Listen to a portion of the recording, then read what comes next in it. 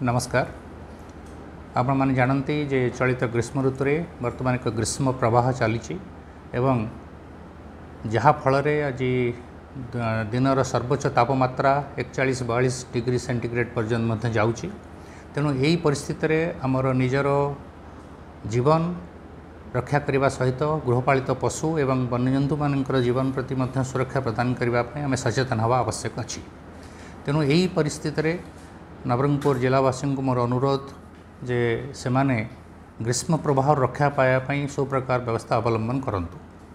ଯଥା ଦିନବେଳା ଯଥାସମ୍ଭବ ଯଦି ପରିସ୍ଥିତି ଆଉ ଆଉ ଦରକାର କରୁଛି ବାହାରକୁ ବାହାରନ୍ତୁ ନାହିଁ। ଯଦି କାମରେ ଯାଉଛନ୍ତି ତେବେ ନିଜକୁ ଅ, ମ, ଗ୍ରୀଷ୍ମ ପ୍ରଭାବ ରକ୍ଷା କରିବା ପାଇଁ ଛତା ବା ମୁଣ୍ଡରେ ଓଦା ଟା- ତଉ- ତଉଲିଆ ଗୁଡ଼ିକି ଯାଆନ୍ତୁ। ପ୍ରଚୁର ପରିମାଣରେ ପାଣି ପିଅନ୍ତୁ। ପାଣି ସହିତ ଯଦି ଘୋଳ ଦହି ତୋରାଣି ଇତ୍ୟାଦି ମଧ୍ୟ ପାଇ- ପାରୁଛନ୍ତି ସେକୁ ମଧ୍ୟ ପ୍ରଚୁର ପରିମାଣରେ ପିଅନ୍ତୁ। ଖରାରେ କଠିନ ପରିଶ୍ରମ କରନ୍ତୁ ନାହିଁ ଏବଂ ଯେଉଁ ଜାଗାରେ ଆମର ଶ୍ରମିକ ଭାଇମାନେ କାମ କରୁଛନ୍ତି ସେଠାରେ ସେମାନଙ୍କର ରେଷ୍ଟ ସେଡ୍ ଇତ୍ୟାଦିରେ ମଧ୍ୟ ବ୍ୟବସ୍ଥା କରିବାକୁ ନିର୍ଦ୍ଦେଶ ଦିଆଯାଇଛି ଏବଂ ସେଟାକୁ କଡ଼ାକଡ଼ି ଭାବରେ ପାଳନ କରିବାକୁ ମଧ୍ୟ ନିର୍ଦ୍ଦେଶ ଅଛି ତାକୁ ସେମାନେ କରିବା ଉଚିତ। ଶ୍ରମିକମାନେ ଦିନ ଏଗାରଟାରୁ ତିନିଟା ପର୍ଯ୍ୟନ୍ତ କାମ ନ କରି ଅନ୍ୟ ସମୟରେ କାମ କରିବା ପାଇଁ ମଧ୍ୟ ଆଡ଼ଭାଇଜରୀ ଅଛି ତାକୁ ମଧ୍ୟ ପାଳନ କରିବାକୁ ମୁଁ ଅନୁରୋଧ କରୁଛି। ବାହାରକୁ ବାହାରିବା ସମୟରେ ପାଣି ବୋତଲ ନିଅନ୍ତୁ ଏବଂ ନିଜକୁ ଯଥାସମ୍ଭବ ଖରାଠାରୁ ଦୂରେଇ ରଖିବା ପାଇଁ ମଧ୍ୟ ଚେଷ୍ଟା କରନ୍ତୁ। ମାଦକ ଦ୍ରବ୍ୟ ସେବନ କରନ୍ତୁ ନାହିଁ ଏବଂ ଯେଉଁ ଗୃହପାଳିତ ପଶୁମାନେ ଅଛନ୍ତି ସେମାନଙ୍କୁ ଯଥାସମ୍ଭବ ଛାଇରେ ରଖନ୍ତୁ ଏବଂ ପ୍ରଚୁର ପରିମାଣରେ ପାଣି ପିଇବାକୁ ଦିଅନ୍ତୁ। ଭାରତୀୟ ପାଣିପାଗ ବିଭାଗ ଦ୍ୱାରା ଯେତେବେଳେ ଗ୍ରୀ- ଗ୍ରୀଷ୍ମ ପ୍ରଭାବ ସଂକ୍ରାନ୍ତୀୟ କୌଣସି ତଥ୍ୟ ଆସୁଛି ତାକୁ ନଜର ରଖନ୍ତୁ ଏବଂ ସେହି ଅନୁସାରେ ନିଜକୁ ଅ, ଗ୍ରୀଷ୍ମ ପ୍ରଭାବରୁ ରକ୍ଷା କରିବା ପାଇଁ ଅ, ଚେଷ୍ଟା କରନ୍ତୁ।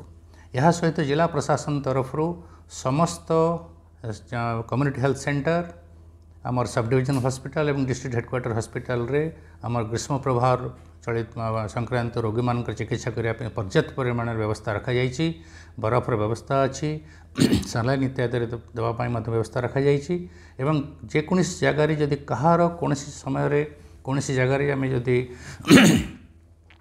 ଗ୍ରୀଷ୍ମ ପ୍ରଭାବରେ ପ୍ରଭାବିତ କୌଣସି ବ୍ୟକ୍ତିଙ୍କୁ ଆମେ ନ ଦେଖୁଛେ ତାକୁ ଯେତେ ଶୀଘ୍ର କରାଯାଏ ଆ, ଡାକ୍ତରଖାନାକୁ ଆଣି ଚିକିତ୍ସା କରାନ୍ତୁ ଏହା ସହିତ ଆମର ସ୍କୁଲର ବିଦ୍ୟାଳୟର ସମୟ ମଧ୍ୟ ଆମେ ଟିକେ ପରିବର୍ତ୍ତନ କରିଛୁ ଆବଶ୍ୟକତାକୁ ଦେଖି ସକାଳ ସାଢ଼େ ଛଅଟାରୁ ଦଶଟା ପର୍ଯ୍ୟନ୍ତ ନବରଙ୍ଗପୁରର ସମସ୍ତ ସ୍କୁଲ କାର୍ଯ୍ୟ କରିବ ଏବଂ ଅଙ୍ଗନବାଡ଼ି କେନ୍ଦ୍ରଗୁଡ଼ିକ ମଧ୍ୟ କାର୍ଯ୍ୟ କରିବେ କରିବେ।